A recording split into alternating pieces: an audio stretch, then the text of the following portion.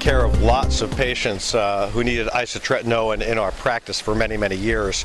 So in order to be able to collect information on how they're doing with their isotretinoin, as well as to come up with a routinized way to assess signs and symptoms of isotretinoin in adolescents, we created a, a form note that's actually a symptom survey, and we had patients, uh, as we do in our practice every day, who come back on isotretinoin, fill out the paperwork, listing the typical signs and symptoms that might be related to their treatment to isotretinoin.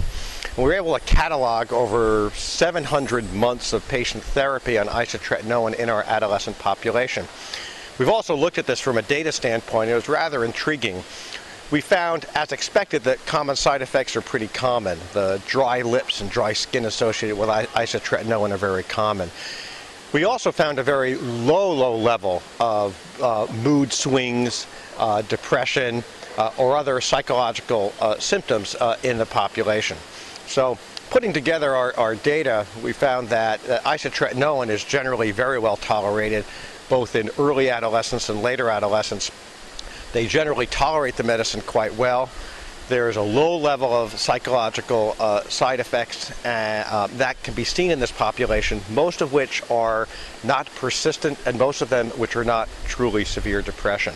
Summary is that it's nice to have this particular tool, a form-based note that can be used practically in your practice taking care of isotretinoin patients, and a good way to assess any problems they may be having uh, with their isotretinoin.